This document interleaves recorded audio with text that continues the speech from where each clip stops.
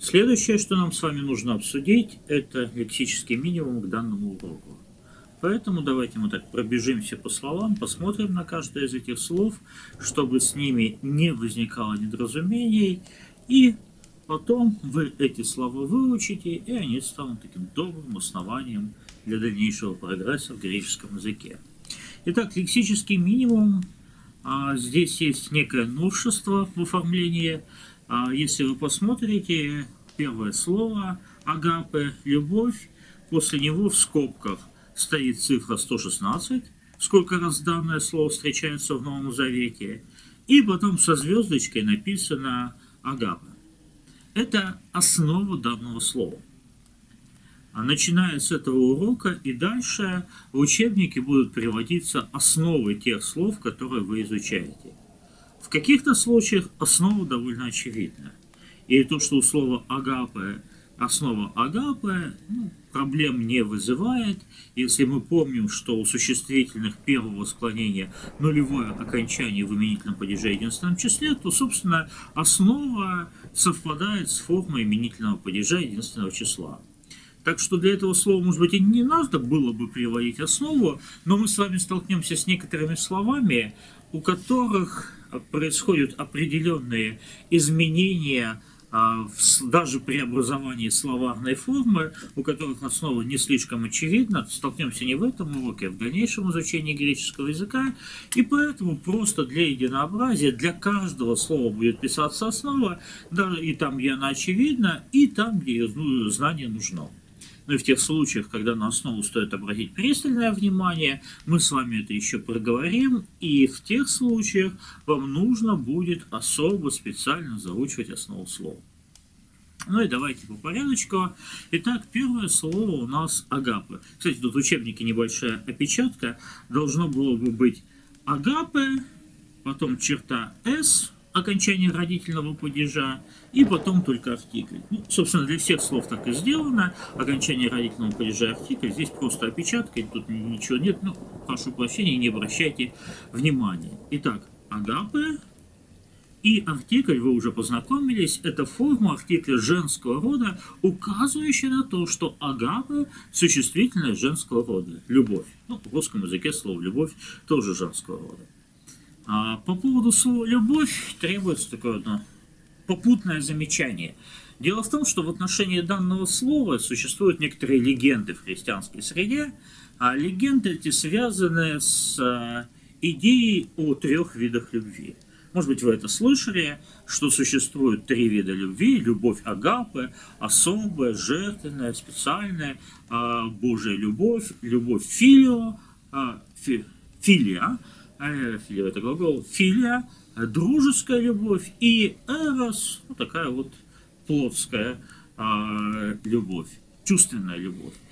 И эта легенда широко распространена, и вот как бы по контрасту с эрос, с филия, э, выделяют агапы, и когда в греческом тексте встречается агапы, этому слову приписывают какой-то особый специальный христианский смысл. Ну, что касается употребления именно в Новом Завете, действительно слово «агапе» встречается в основном, когда речь идет о Божьей любви к людям, ну или о необходимости проявлять э, любовь по отношению к другим. Но вот ведь какая э, вещь. А помимо существительного «агапе», в греческом языке есть однокоренной глагол «агапао», ну, люблю, любить, а, и этот глагол тоже наделяют такими же э, оттенками значения, особая, жертвенная, специальная любовь. Но если вы проверите употребление глагола «агапау», просто с помощью любой компьютерной программы, позволяющей искать по греческому тексту, найдете все употребления этого глагола в Новом Завете, то вас ожидают некоторые сюрпризы. Например, люди возлюбили агапау, тьму больше, чем свет, или Димос возлюбил Агапал в нынешний век и бросил апостола Павла, ушел и так далее. И здесь не похоже на какую-то благочестивую христианскую жертвенную любовь. Э, здесь любовь в не очень а, положительном смысле описана. Если вы произведете такой поиск не только по Новому Завету, но по греческому переводу Ветхого Завета, Септуагинте, этот перевод был сделан еще до Рождества и активно использовался в церкви, то вы увидите, что, например, когда Амнон полюбил Фана, Фомарь, то же самое корень Агапа, то он ее изнасиловал, и опять-таки никакой жертвенности здесь нет. Почему, почему я про все про это говорю? Вот эта вот идея особой, специфичной, жертвенной любви, она не соответствует реальному употреблению агапы в Писаниях Нового Завета, реальному употреблению в Кайне. Слово на самом деле имеет простое значение «любить», а каков характер любви, возвышенная ли она, жертвенная ли она, или еще чего-то, выражается не самим словом, но окружающим контекстом. А у толкователей часто встречается такая ошибка. А когда, встретив слово в каком-то очень значимом контексте, при описании какой-то глубокой богословской идеи, толкователь берет не просто значение этого слова, но всю идею, описанную в контексте, соединяет со значением слова и потом переносит идею в другие контексты. Но глубокая идея, например, жертвенности, связанной с любовью, она не сокрыта в самом слове агапал. Она закрыта в контекстах, когда ибо так возлюбил Бог мир, что отдал Сына Своего Единородного и так далее. Она сокрыта в окружающих описаниях, не в слове. И поэтому не надо вкладывать в слово слишком большой смысл. Слово агапа, а, агапау и так далее – это любить. Любить в очень широком смысле – а, любите жертвенной любовью, любите обычной любовью, любить то, что нужно любить, любить то, что не надо любить. Любовь в очень широком смысле, и не стоит сужать этот смысл или перегружать этот смысл оттенками значений, выбранными не из слова, а откуда-то еще. А вообще, ну как такой общий совет – как только вы встречаете в какой-то проповеди, в каком-то комментарии обсуждение каких-то удивительных, тонких, специфичных нюансов слова и подтверждение, может быть, этому обсуждению с помощью того, что в каком-то потрясающем контексте это слово употреблено, вы должны насторожиться. В большинстве случаев слова имеют достаточно простые значения. В большинстве случаев слова не несут ну, особенно общеупотребимые слова, не специальные термины, не несут вот такого узкого и специфично богословско-христианского значения. И если вдруг слово приписывается это, то, возможно, просто произошел перенос контекстуального значения на слово. Так что будьте осторожны, и если вам э, для принятия какого-то толковательного решения, важно разобраться в слове. Первый самый естественный шаг. Посмотрите употребление этого слова по тексту Священного Писания. Многие компьютерные программы позволяют делать это очень быстро и легко, и есть шанс, что от многих иллюзий в отношении слова вы тут же исцелитесь. Итак, Агапа первое слово – любовь. Второе слово – не такое экзотическое, аллос другой иной. А если вы посмотрите на сноски в учебнике, то аллегория, ал, видите, слышите корень, алло, а, помогает запомнить это слово. Ну и вообще агапа, как вот совместная трапеза в христианской церкви. Может быть, если вы знакомы с этим термином, вам поможет запомнить слово агапа. А, хотя, кстати, в значении специальной трапезы слово агапа употреблена в послании Иуды, так что такое употребление есть в Новом Завете. Ну и так далее. То есть смотрите сноски, там какие-то русские слова, связанные с греческими, приведены, они помогают. Итак, аус другой, иной. Аутос. Он сам и тот же сам. А у слов ἄλλος и слов αὐτός после слова приведено η, ο, η, ο. Что это такое? А, и ἄλλος, и αὐτός – это не существительное, А, это прилагательное и это местоимение. И прилагательные местоимения меняются не только по родам, не только по числам и падежам, но и по родам. И традиционно в словарях принято для таких слов писать окончание женского и среднего рода.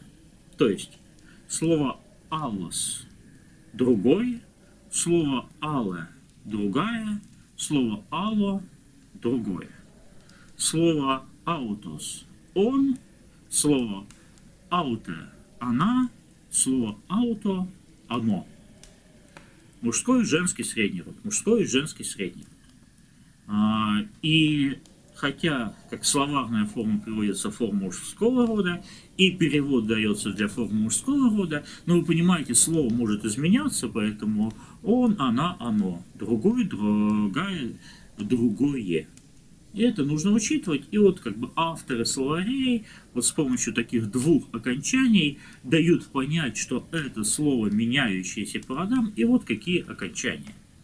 Кстати, что касается окончаний, у слова «autos» и э, слова а, «allos» окончание в среднем роде «о». Не «он», как у многих других слов а, первого, второго склонения, а «о». Но если вы посмотрите на артикль, помните «хо», э, «хе», «то», «по» окончании. Вот такое же окончание у артикля, и поэтому по аналогии с артиклем вот это окончание вы легко запомните. Еще одно замечание по поводу слова «аутос». У него три значения. Он сам тот же самый. Самое распространенное значение «он». Значение «сам» встречается в специфичных конструкциях, а когда слово «αὐτός» стоит перед словом с артиклем, или когда слово «αὐτός» стоит перед местоимением или именем собственным. Ну, например, «αὐτός Иисус» переводится «сам Иисус». Но или «аутус хо антропос» переводится «сам человек». Но в других случаях не надо переводить аутос как сам. А это потом будет повторено в учебнике чуть позже. Я забегаю вперед. Почему?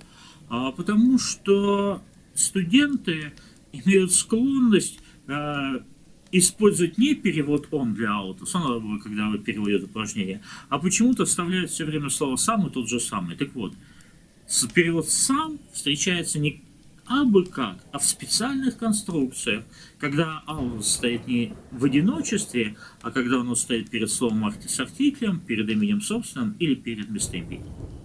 В других случаях он. Ну и что касается перевода тот же самый, то там еще более специфичная конструкция. Перед аутос должен стоять артикль. То есть ὁ αὐτός тот же самый. ἡ αὐτή та же самая. τὸ αὐτό то же самое. Без артикля αὐτός как тот же самый, как правило, не переводится. Поэтому, если нет такой вот специфичной конструкции, переводите αὐτός словом «он». И только если есть еще реконструкция, то есть рядом с аутос слово с артиклем, имя собственное, местоимение, либо перед аутос стоит артикль, вот тогда только вы должны аутос переводить не как он, а другими способами. И, ну и, как опять же общее правило, чем более просто звучит перевод, тем в среднем он лучше. Есть специфичное искушение ну, у любого, видимо, изучающего иностранный язык, в том числе и у изучающего греческий язык, найти в тексте что-то необычное. Вот перед вами текст писания. Да, знакомые, привычные какие-то русские слова. Вы по-русски вы прочитали, и вы начинаете читать по-гречески. Фактически вы можете прочитать то же самое, что по-русски.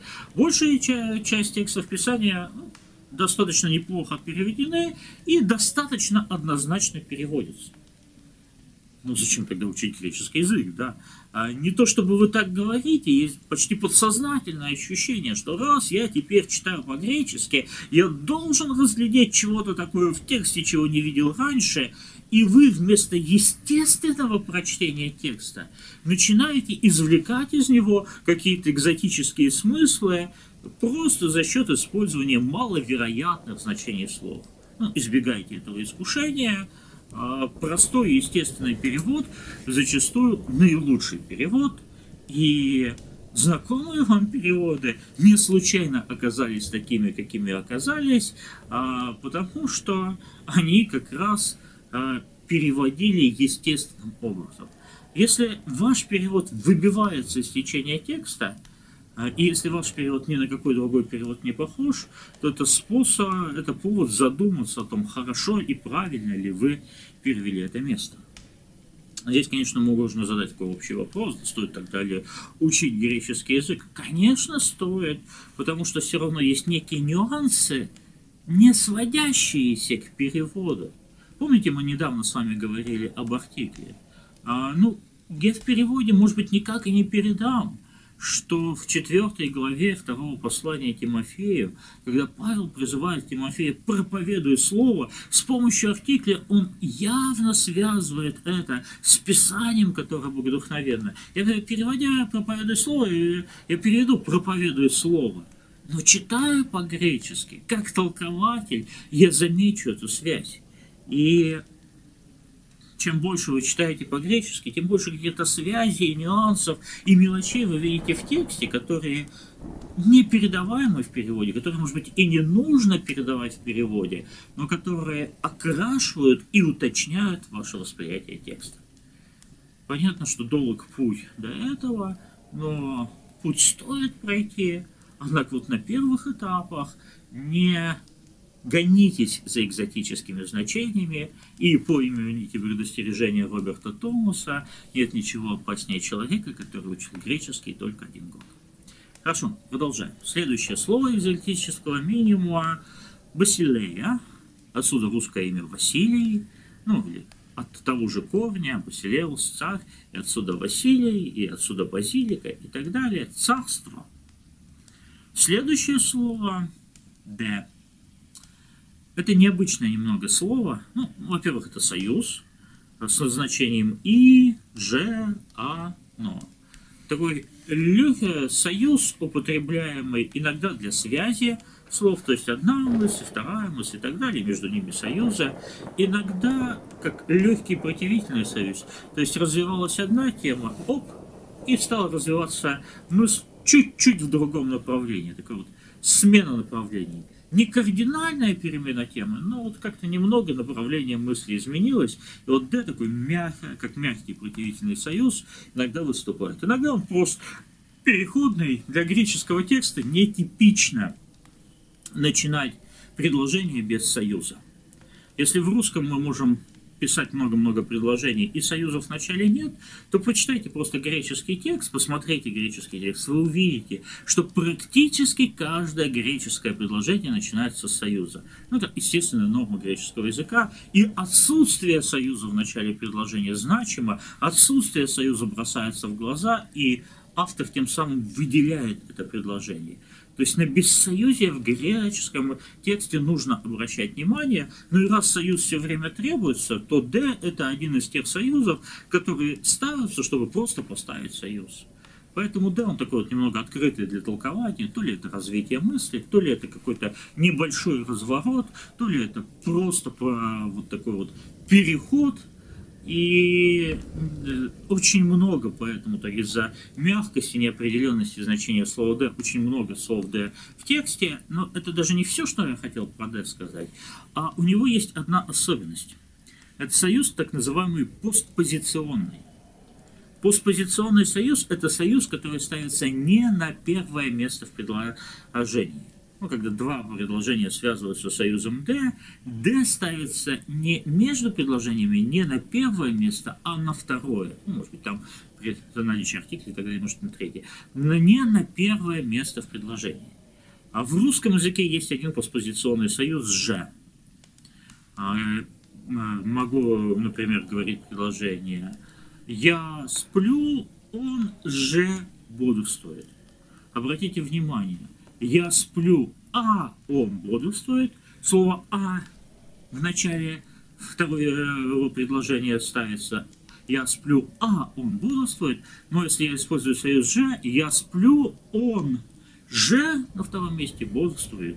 И не надо говорить «я сплю, же он бодрствует». Видите, это неестественно звучит. «Же он бодрствует», мы так не говорим «он же бодрствует». Так вот, союз «д», ну и русское «же», они даже похожи по звучанию, да, вот он тоже постпозиционный. Но в русском языке союз «же» постпозиционный, а остальные союзы так вот а, встают э, на нормальных местах. А в греческом языке много постпозиционных союзов. И Ж это просто Д, это первый из таких союзов, которые вы изучите, изучаете, но вы будете изучать и много других. Если вы Д переводите как Ж, проблемы никакой. А если же Д переводите как И, например, ну просто чувствуете, что по контексту это лучше, то э, не надо его оставлять на прежнем месте, а нужно поставить на нормальное место для Соединительного Союза И. То есть а, я сплю, он же бодрствует, но я сплю, он и бодрствует, уже звучит по-другому. Лучше я сплю, и он бодрствует, да? Или я сплю, а он бодрствует, а не я сплю, он, а бодрствует. Да? Вот, э, то есть союзы должны быть на своем месте – не постпозиционные в начале, постпозиционные а не в начале, и в зависимости от того, как вы переводите, а, все соединяете. А так вообще D, конечно, распространеннейший союз. Ну, просто даже если вы начинаете читать а, Новый Завет, Евангелие от Матфея с самого начала, а, буквально со второго стиха, Авраам, Генесентон, Исаак, Исаак де Егенесен тон. Иаков, Иаков де Егенесен тон. Иуда Кайтус Адольфус Ауто. Авраам родил Исаака, Исаак же родил Иакова, Иаков же родил Иуду и братьев его. Если D будете переводить как А, то тогда Авраам родил Исаака, А Исаак родил Иакова, А Иаков родил Иуду и братьев его. Но здесь и дальше, дальше, дальше 2792 а, раза в Новом Завете вы увидите союз Д. А следующее слово N – предлог. А, предлог со значением «в», «среди». И дальше у вас в учебнике написана фраза «творительный падеж». А, что это значит? Это значит, что ну, а, слово с предлогом «н» может переводиться действительно как «в» и «среди», а может переводиться творительным падежом без предлога. Ну, например, возьмем слово «космос» с предлогом «n».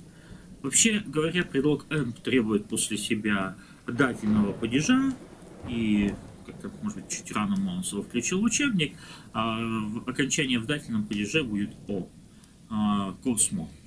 Поэтому «n» «космо» может быть переведено как «в мире», может переведено быть как «среди мира», ну, если это имеет смысл, и может быть переведено как «миром», безо всякого предлога. А, ну, какой-нибудь библейский случай употребления предлога «н», а, так, чтобы а, ярко а, звучало. А евреям 9 22. А здесь такая фраза «эн хаймати панта катридзетай». А, хаймати – это кровь, ну, в дательном падеже, и можно, конечно, было бы апанта все, это ридзатай, а, очищаться. Поэтому можно было бы, конечно, перевести в крови все очищается, но по контексту мы понимаем, что там происходит крапление кровью, а не погружение чего-то в кровь. Ну и в крови все очищается, такая страшная картина, все сеют кровь и так далее. А нет, не об этом идет речь. Кровью, как инструментом, все очищается.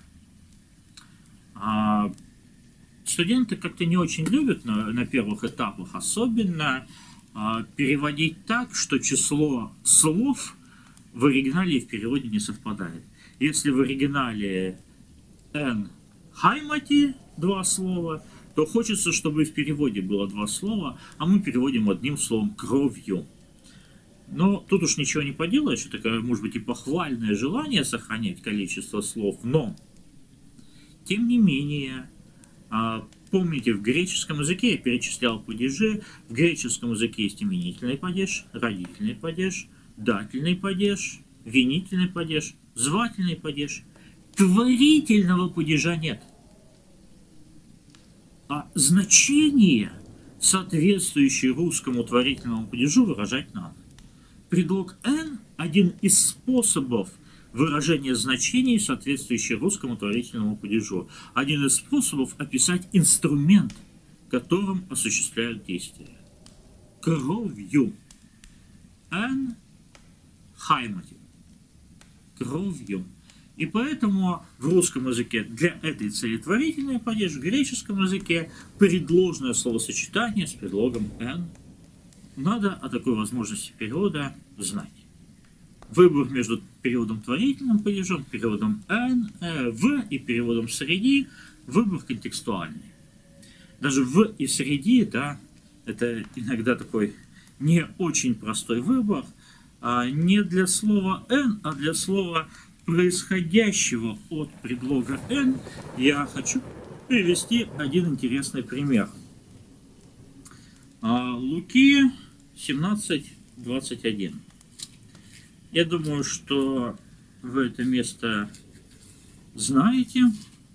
Уже, может быть, этот стих слышали не раз, и как-то вот э, наизусть его можете произнести. Э, он такой очень известный. Конец 21 стиха, 17-21. «Идуга хебеселе тутео энтос хюмон эстин». А, ибо вот, Басилия царство, только что мы познакомились с этим словом, тут и у, это форма родительного падежа от слова Бог с царство Бога, энос, а, и слово производное от слова эн, и потом хюмон эстин, а вас есть. Энос можно перевести как внутри вас есть. И можно перевести как среди вас есть. Так же, как n в среди, да, и это а, производное на него э, энтос в среди.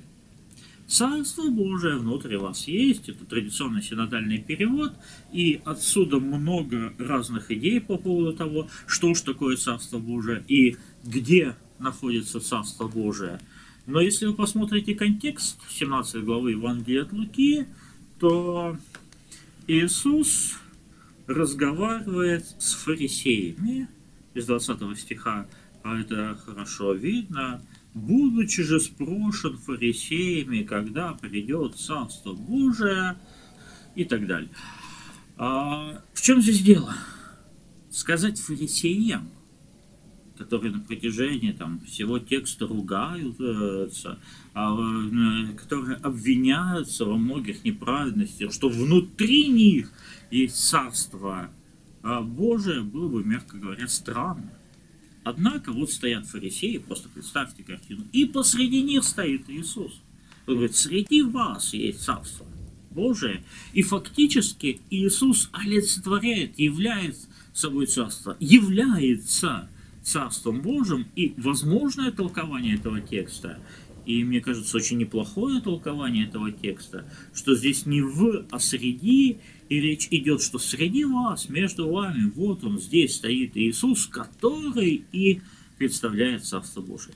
Но, как видите, есть возможности толкования, так что вы среди, ну, может быть, инструментально, творительный падеж здесь, конечно, не вместе, но в каких-то случаях вам придется об этом предлоге думать. Следующее слово «эргон», труд, работа, дело, изделия. Ну, в смысле, работа, труд как процесс, и работа, труд как результат труда. То есть, если вы что-то сделали, можете показать, сказать, вот мой труд, да? То есть, вот результат моего труда, вот мое изделие. А поэтому вот а, связь труда с изделием, она тут, естественно, в русском и в греческом языке тоже. А, следующее кайрос, время, период.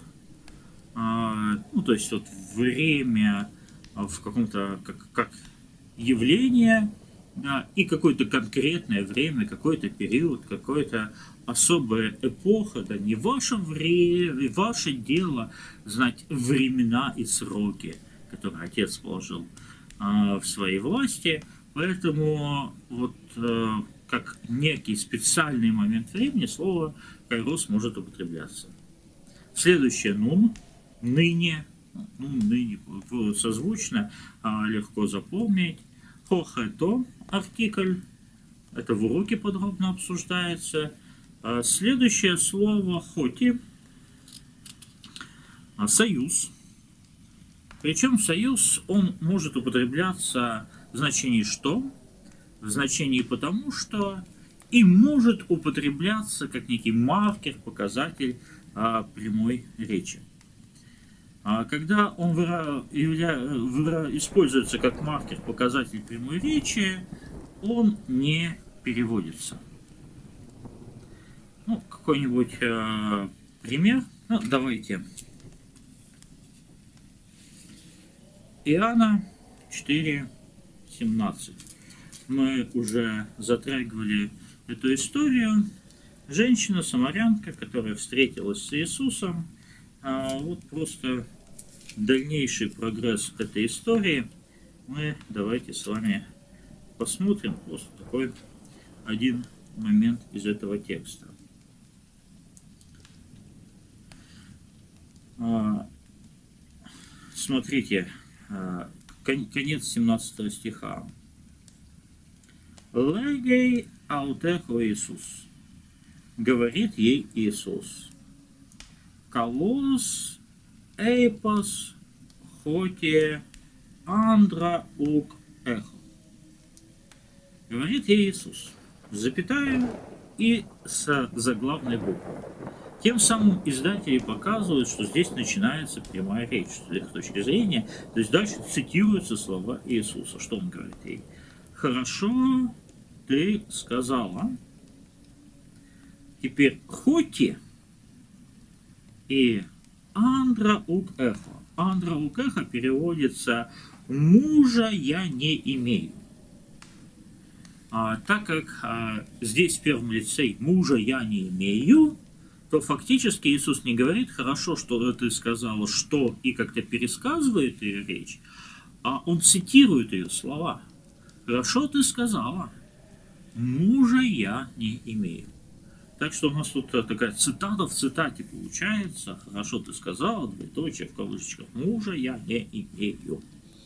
И хоть здесь никак не переводится, вместо него за двоеточие и знак кавычек. Опять-таки студенты могут нервничать, потому что в греческом было слово, в русском нет, но в греческом не было знаков препинания, а в русском есть, и вот здесь хоть и помогает сориентироваться, да, что хоть внутри уже речи, все равно еще одна речь начинается, прямая, и хоть и показывает начало этой прямой речи внутри. Следующее слово «у» со значением «не». У этого слова есть еще формы «ук» и «ух». А эти формы появляются, если следующее слово начинается с гласной. Если слово начинается просто с гласной, а, то форма ук, а если с густого придыхания, то форма ух. То есть ук элтон, то есть просто у, но ук элтон или ух хемейс. Ук хемейс. Да. А почему появляется звук кх ну, просто, чтобы легче было произносить «у» и еще одну гласную вместе произносить трудно, поэтому вот этот согласный вставляется, чтобы как-то разделить а, при произношении, и это звучит лучше. Так что вот, а, просто запомните «у», «ук», «ух» — это одно и то же слово, просто по-разному пишется. Кстати, если вы посмотрите слово «д», то перед гласными оно может писаться просто «д», и эпсилон выпадать. Вот, собственно, слова, новые слова, которые вы должны знать. Я довольно много про эти слова говорил.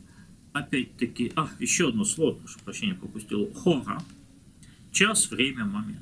Ну, может быть, сложности нет. Я про некоторые из этих слов много говорил. Говорил про агапе, достаточно а, простое значение. Говорил про аутос, он, если нет специальной конструкции. Говорил про n, да, вот как его переводить. А, про хоти. Ну, просто потому, что здесь есть какие-то ошибки типичные, а, когда студенты начинают использовать эти слова.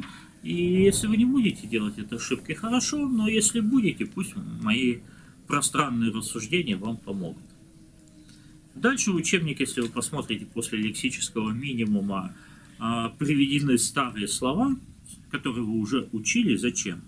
Ну, чтобы написать артикль, и чтобы вы осознанно посмотрели на артикль, и написать основу этого слова. Давайте мы просто про ним пробежимся. Первое. Абрам. Хо. Хо Абрам. А, мужской род. А, основа Абрам. И у этого слова нет никаких ни окончаний, ничего. Это не склоняемое слово. Многие имена, заимствованные из еврейского языка, остались несклоняемыми, поэтому независимо от падежа, Авра Авраам всегда будет Авраамом, а падеж этого слова в предложении вы будете выяснять по смыслу, по контексту. Хо ангелос, ангел, хо антропос, человек, хо апостолос, апостол, хе Галилая, Галилея, хе графе, Писание, хо Давид, Давид, еще одно несклоняемое слово. А, и опять-таки слово не изменяется, но когда я говорю несклоняемое слово, то имеется в виду, что само слово не изменяется. Но артикль при этом слове, конечно же, может изменяться. Поэтому именительный падеж будет «хо Давид», но винительный падеж будет «тон Давид». И, кстати, это один из способов, которым а, автор в двусмысленных случаях может показать, какой падеж имеется в виду. Просто к несклоняемому имени добавить артикль, который нормально изменяется по падежам. Хедокса, хедзуэ, хостерос, Хекардия, слава, жизнь, Бог, сердце, космос, мир, о логос, слово, о Паулос, о Петрос, о Пилатос, то пневма. Это особенное слово. А, видите, окончание пневма какое-то неожиданное, то а, это слово третьего склонения. У третьего склонения свои особенности. Основа у него, видите, пневмат. На Т заканчивает основу. Я на остальные основы особо внимания не обращал, потому что э, здесь все было легко, а у пневма, хотя вы уже, уже выучили это слово, ну, красивое, важное, да, но, но тем не менее, как образуется его форма и почему форма такая, какая есть, мы обсудим гораздо позже, когда дойдем до третьего склонения. Просто сейчас знаете, что пневма, слово среднего рода, с основой пневмат, и оно третьего склонения. Следующее слово хо профетес, тоже немного странное слово. А, мужской род, ну, по артиклю мы это понимаем, окончание «с», типичное для второго склонения мужского рода, а основа заканчивается на «э». ОФТ. И есть несколько слов, совсем немного, но несколько слов в греческом языке, у которых, хотя основа заканчивается на «э», но окончание первого склонения, ну, они принадлежат мужскому роду и по первому склонению изменяются. Вот это одно из таких слов. А в приложении к учебнику парадигма N1F, вы можете посмотреть, как выглядит а, форма этого слова. Следующее саббато, то саббато суббота, хо Симон, хе фоне и Христос. Вот просто старые слова э, полезно посмотреть, чтобы понять, что вы в отношении этих слов все понимаете.